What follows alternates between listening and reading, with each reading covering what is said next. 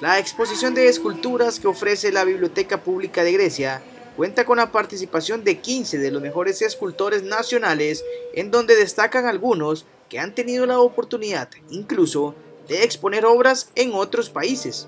Yo tengo una trayectoria ya de 20 años en, escultura y me gusta mucho trabajar de toda clase de materiales, ¿verdad? Yo trabajo la piedra, la madera, el metal, las resinas el mármol.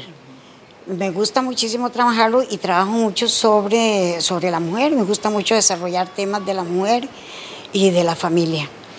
Este, eh, hace, hace varios años estamos sacando ya obra y estoy sacando obra del país. Eh, eh, tengo, hice una exposición en Nueva York o exposición en París y ahora tengo para este año una exposición para, para Madrid. Entonces, este, estamos sacando obra costarricense ya fuera del país. Eh, a mí lo que me gusta es más trabajar piedra que madera, pero en realidad esta, como pueden ver, hay mucha madera. Entonces no me quería, no, quería quedarme atrás trayendo solo una de, piedra y sino traer madera. Entonces opté por traer dos. Esta que es de, madera de, de guapinol, y aquella que es una piedra de diorita. Coméntenos un poquito como el significado de lo que representan ambas esculturas.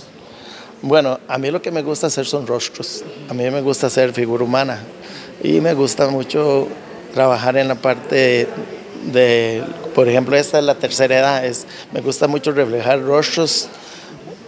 El, el rostro que más me gusta hacer es el de Jesús pero digamos, este es un rostro que no es el de Jesús, pero para mí significa como un anciano. Por eso se llama tercera edad.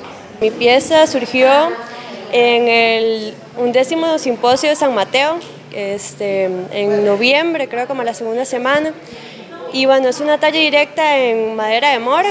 Entonces, bueno, en su momento, cuando la empecé a trabajar, traté de dejarme llevar más como por las formas que ya ella traía para no imponerle como un significado porque ya ella pues como es una madera tan preciada ya tiene bastante significado en sí misma. Entonces traté de aprovechar sus formas y bueno era muy orgánica. Entonces traté como de, de, de ver en ella encontré como muchos motivos marinos, entonces traté como de abstraer todo como un anzuelo, el ancla, las colas de peces y todo esto. Y, y bueno, también termina siendo como un como una unión entre toda esa biodiversidad que tenemos como en esos países como Costa Rica que tiene en, en ambos lados tanta variedad. Entonces también viene como esa delgadez de nuestro país eh, implícita ahí en sus formas. Esta exposición es totalmente gratuita y se mantendrá en este edificio hasta el próximo viernes primero de febrero.